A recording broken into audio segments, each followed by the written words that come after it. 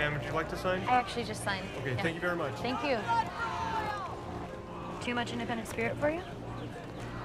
Uh, no, I just don't really like bashing my country. It's my country too, and right now it has blood on its hands. Sorry, I just I have friends who are over there right now. I'm not talking about the troops. I'm talking about the morons sending them to war. I mean, our commander in chief. Yeah, whatever you want to call him, he's still wrong. How do you know he's wrong? We're just lashing out. No, I'm I'm not lashing out. I'm questioning our government. That's what we do in this country. That is the principle that we are founded on. Okay, but how about questioning the liberal media?